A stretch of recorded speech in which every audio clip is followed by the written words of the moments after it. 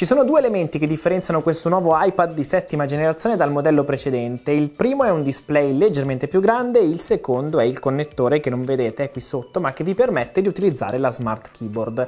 Ma non sono questi i motivi per cui lui è in questo momento il tablet da tenere maggiormente in considerazione se non vogliamo spendere troppi soldi. L'elemento che fa realmente la differenza è infatti iPadOS, che aumenta esponenzialmente le possibilità in termini di produttività ma vi ho già anticipato troppo, quindi rimbocchiamoci le maniche e partiamo.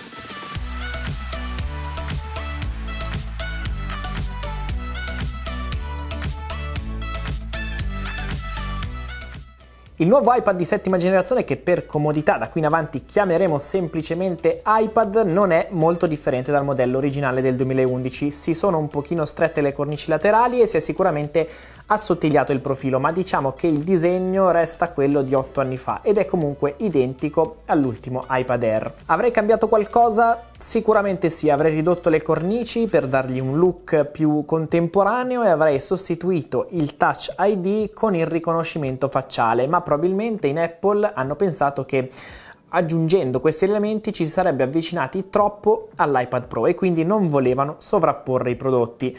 Nonostante il design sappia di già visto, ciò che non cambia assolutamente è la sensazione di qualità che si ha quando lo si prende in mano e non posso poi non apprezzare il fatto che la scocca sia realizzata interamente in alluminio riciclato, sicuramente un bel segnale da parte di un'azienda così importante. Parlando di dimensioni sono leggermente superiori rispetto alla precedente generazione, ma spessore e peso a parte l'impronta è esattamente sovrapponibile a quella dell'ultimo iPad Air, dettaglio che permette ad Apple di vendere la stessa smart keyboard per entrambi i prodotti. Smart keyboard che non è ovviamente inclusa in confezione, va acquistata separatamente e costa 179 euro. Sinceramente parlando, come tastiera non mi entusiasma per nulla. I tasti sono piccoli, eh, ma a non convincermi è soprattutto il feedback che è troppo, troppo attutito.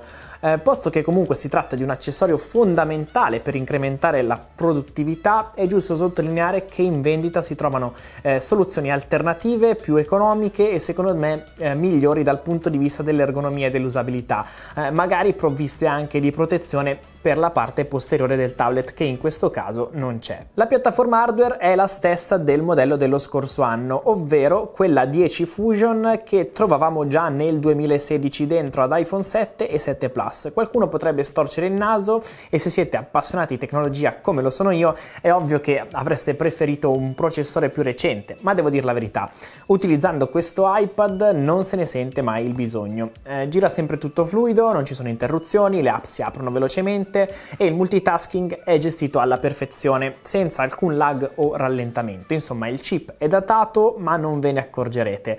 Apple ha giusto giusto aggiunto un giga di RAM portandola a 3 per supportare al meglio eh, l'utilizzo con più applicazioni aperte in contemporanea, che poi vedremo essere un punto di forza di questo tablet.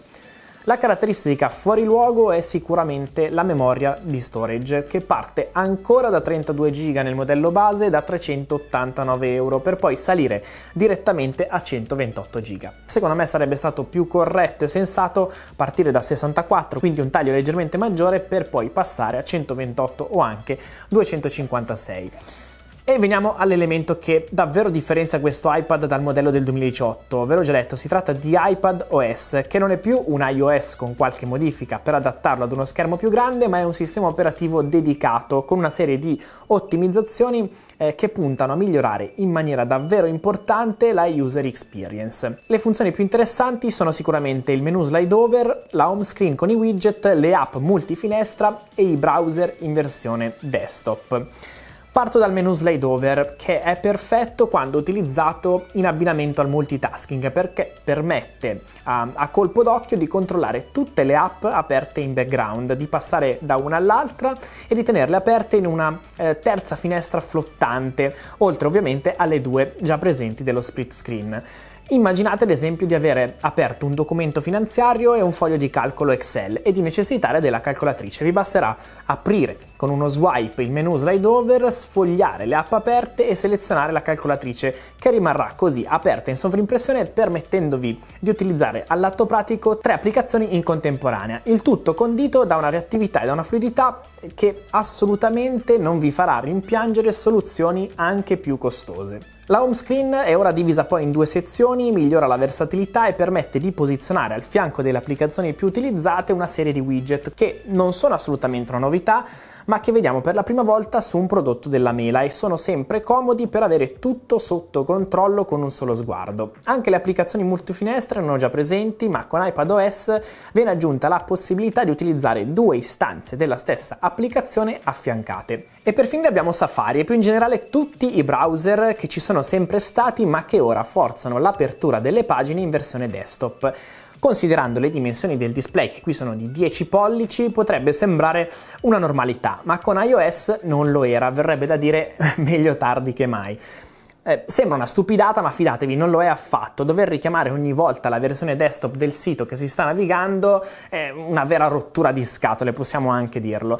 In sostanza, quindi, possiamo dire che tutto il sistema operativo è stato rivisto per trattare questo iPad esattamente come un notebook. Ora, da qui a rimpiazzare il vostro MacBook probabilmente di strada ne passa ancora parecchia, ma diciamo che in alcune situazioni di emergenza o se non avete bisogno di potenza ehm, di calcolo esagerata e la vostra routine si limita ad esempio alla gestione delle mail, allora potete iniziare eh, a pensare di lasciare il notebook sulla scrivania in alcune determinate situazioni. In tutto questo c'è poi un'ulteriore funzione di cui voglio parlare che si chiama Sidecar, ovvero una funzione che è stata introdotta con l'aggiornamento eh, di macOS alla versione Catilina e che permette sostanzialmente di utilizzare iPad come un secondo display wireless. Il collegamento è veloce, abbastanza intuitivo e stabile, ma soprattutto ci permette di lavorare in mobilità con quello che a tutti gli effetti possiamo considerare come un secondo schermo. Io ad esempio l'ho trovato molto utile in viaggio per montare un video lontano dalla mia scrivania, quindi dalla mia solita configurazione con due display. Non manca poi il supporto alla Apple Pencil che purtroppo però si ferma alla prima generazione, quindi con tutte le limitazioni eh, del caso. Non abbiamo la ricarica wireless e nemmeno le gesture, ma la vera eh, caratteristica penalizzante, almeno dal mio punto di vista, sta nel display che non è laminato e che crea quindi uno spiacevole effetto parallasse quando appoggiamo la punta della penna per tracciare una linea. Se avete provato la Pencil 2 con l'iPad Pro, questo davvero diventa fastidiosissimo. Display che indubbiamente stona in questo contesto e che è rimasto per tecnologia identico a quello precedente, aumentando solamente la diagonale e la risoluzione, ma in sostanza mantenendo la stessa definizione.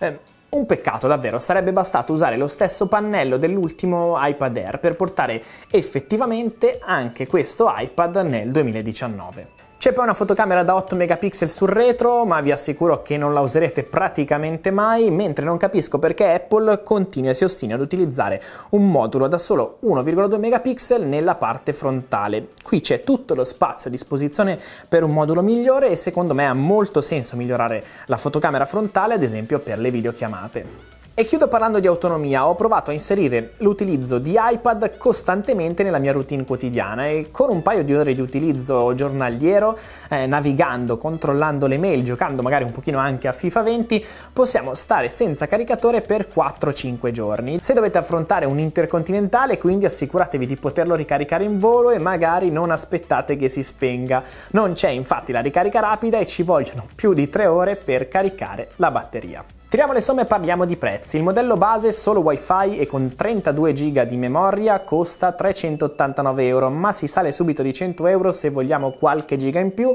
e si arriva a 629 euro con la connessione dati. Insomma, è l'iPad più economico, ma comunque non ve lo regalano. Resta a mio parere però la miglior soluzione, la migliore interpretazione di tablet sulla piazza e tutto sommato eh, 389 euro considerando anche gli standard della mela non sono poi una cifra così irragionevole. Se questo video ti è piaciuto mi raccomando lascia un bel like qui sotto, iscriviti al nostro canale YouTube e attiva le notifiche. Nel frattempo in descrizione trovi anche il link all'articolo che ho appena pubblicato sulle pagine HD Blog con tanti altri dettagli. Ciao!